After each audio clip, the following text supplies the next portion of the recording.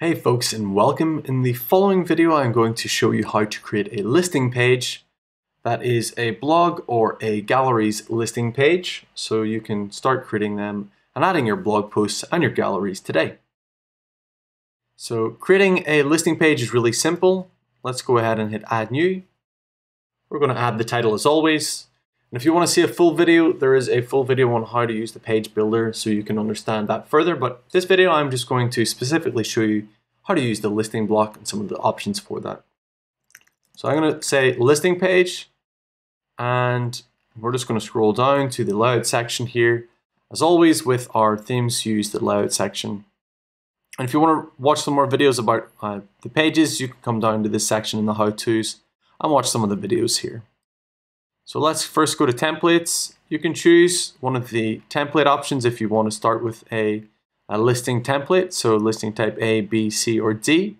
And that will actually build that page really quickly. Um, so you could easily just go quick view, view the template, for example, uh, type D, and then apply that to the page. And that would add all the blocks and that would create the listing page pretty quickly. And we just have to configure some of the settings for that. So I would suggest first starting with a, a, template and then of course adding additional blocks to the page. The elements you need for creating a blog page or a galleries listing page would just be one of the listing blocks and there are four I believe in this theme. Let's just have a check. Listing. There are four, yeah, four different layouts uh, that you can choose from. So uh, an option here to show uh, several on or several uh, text items on one side that that they can select. Uh, one with a single list view, so one item after the other. One in this sort of masonry grid, and one with a grid and hover over. So this one's a grid with text below, this one's a grid with hover over, uh, and you can choose any of those four options. You also have the option for listing pagination, and there's two options for that, the listing pagination and the infinite scroll. The infinite scroll will add the option to just keep scrolling and more posts will keep loading below the page. Um, so you can choose one of those two options and that would always go just below this listing block here. In the listing blocks, you can just hit the edit icon. You can then choose what you would like to show, whether that's galleries or posts. You can select a specific category. Maybe you're setting up different pages for different categories. You can just choose to show one specific category on that page if you want, or multiple. You can then choose the number of items that you want to display.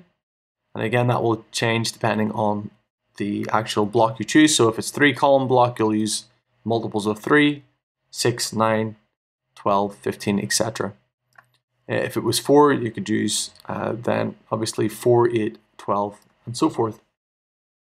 The specific tab will give you some specific options for uh, your uh, chosen listing layout. Now, not all of these may have this, but some of them will have options for choosing columns, the gaps between images. You may have options for uh, overlay colors for this specific block you do. So you can choose an overlay color, choose that. And the overlay color is uh, basically the hover color over the image.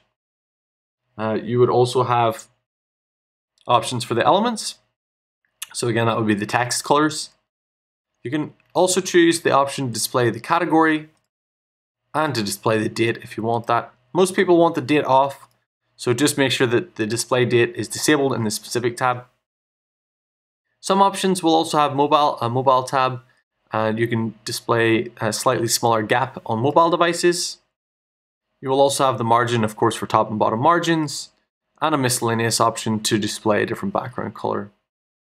You can choose any of the four listing layouts, just go through the different settings, configure them, and add a pagination if you want to have one, and that would pretty much be a blog page or a gallery listing page created. It's very, very simple. You can, of course, add multiple listing blocks, display different categories in each, and use different blocks to create the page uh, and bulk it out that little bit further. So you do have a lot of options there, and it is really, really easy to create your blog page. So just use the listing block and get started today.